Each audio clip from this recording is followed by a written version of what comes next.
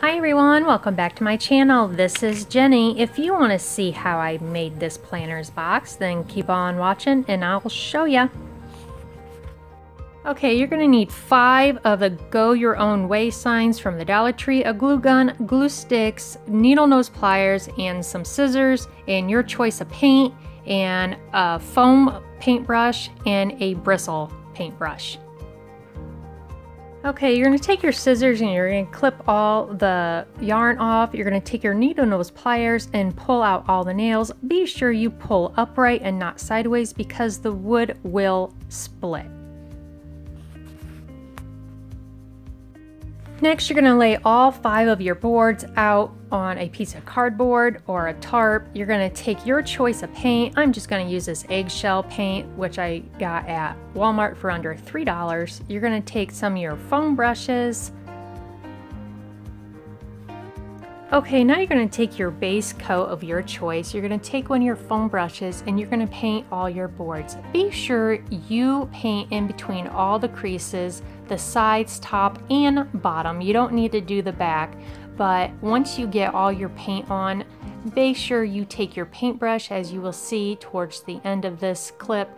I'm going to be going all the same way. So the paint and the grooves, I guess you can say, of the wood's going to be all going the same way instead of up, down, sideways, swirly marks. So just be sure you do that with all your boards and let them dry for at least an hour or so.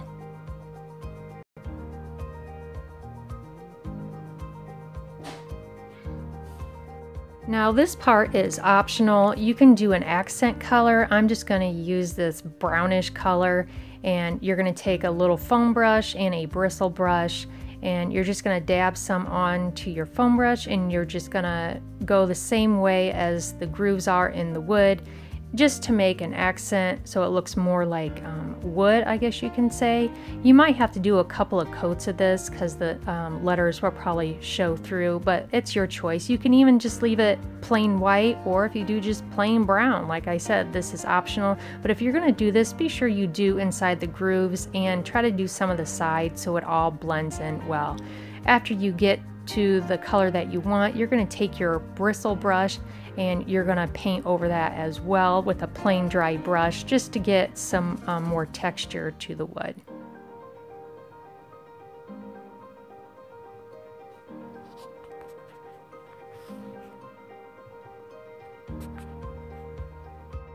Okay, after all your boards are dry, you're going to take your glue gun and you're going to glue them all together. Um, now you can decorate the outsides if you want if you wanted to do stencils or letters or put um, twine or burlap or anything like that you can decorate your boxes but I'm just going to do a plain Jane box just to get it done over with. Um, the, I use the glue gun because it dries fast but you can always use super glue or you know whatever stronger glue you want. Um, so that's all you're going to do you can use it as a planter's box, you can use it to put some toys in, um, put remotes in, you know, you can use it for whatever. Um, you don't even have to put a bottom on if you don't want to, but I chose to and I'm choosing to put the wood grain side up.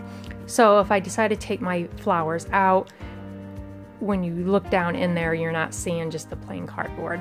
Or I shouldn't say cardboard, the wood. Um, you can paint the inside if you like, but I just wanted to get this this DIY done. I did a lot of them over the weekend, so my patience were running dry. So after you get the last board on, you might it might be a tight fit, so just be patient with that. Add a little bit of glue on each side, and you're gonna just um, slide it on in there.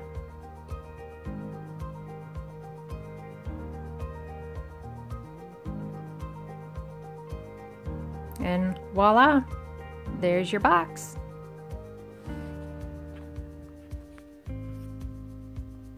I hope you enjoyed this video. If you did, be sure you give it a thumbs up. If not, give it a thumbs down. I thank you for watching and I will see you in my next video. Bye guys, keep smiling.